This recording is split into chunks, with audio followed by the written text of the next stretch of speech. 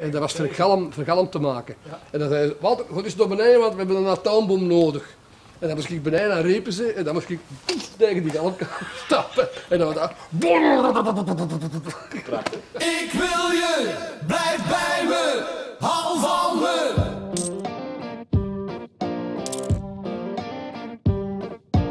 Dat is van ons allereerste optreden in zaal Lux ook. was er nog niet bij. En dat was voor de Rockrally van Humo.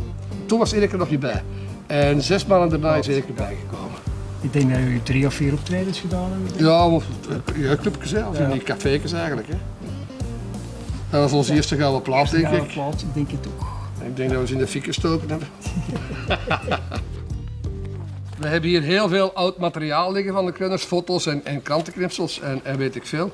Eh, en dat dient eigenlijk omdat ze gevraagd hebben om een soort museum samen te stellen.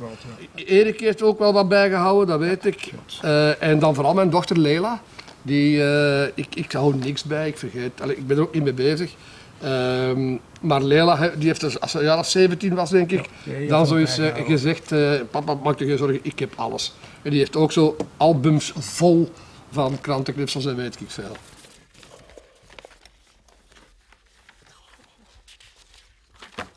Wat bijvoorbeeld heel memorabel was, dat we in 89 eh, op Marktrock speelden. En dat we daar, voordat we het ooit hadden opgenomen, ik wil je voor de eerste keer speelden. En dat we direct merkten van ja, oké, we- we nemen dat op en dat is een hit.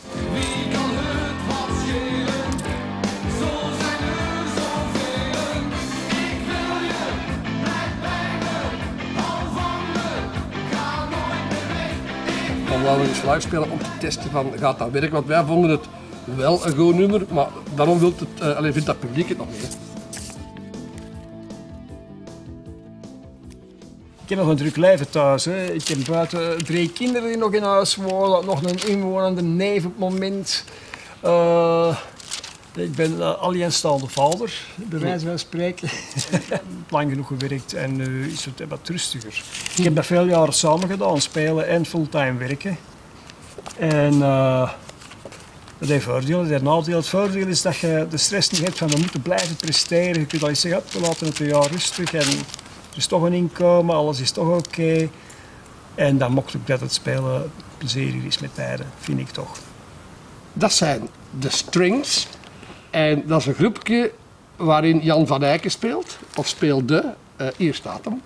We deden er een tour mee, omdat we dat een fantastische groep vonden. Ja. En dan is hem begonnen als bassist bij de Kreuners, om daarna naar gitaar over te gaan. Ze is jong, zo jong. En toch houdt ze van mij. Ik speel al heel leven bas, ik nog geen noodpad. Ik heb nog nooit een bas vastgehad. Ja. En had eh, twee dagen voor de auditie die we deden, had hem gewoon een bas gaan leren bij een vriend. En had hem zich thuis met eh, L- twee LP's hadden we toen gemaakt, denk ik, opgesloten en al die nummers op bas leren spelen uit zichzelf. Dat is fantastisch eigenlijk. Eh, ik wil zeggen dat dat het eerste deel van de Kreuners was. En dat vanaf nu, vanaf vandaag, het tweede deel begint. Part zo. Voor de volgende 40 jaar. Hè. Dan zijn we Ja, zo werkt het. Zo werkt het 103. niet tellen. Ah, wel ja, op mijn 103 wil ik stoppen. Ja.